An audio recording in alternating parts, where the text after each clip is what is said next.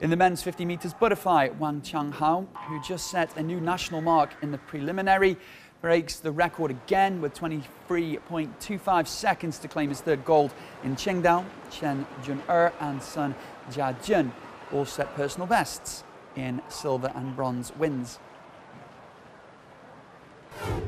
On the women's side, Ye Shiwen, the double winner of the 200 and 400 metres individual medley at the 2012 London Olympics, marks her comeback to the women's 200 metres breaststroke by winning gold. She leads second place Ju by 2.53 seconds.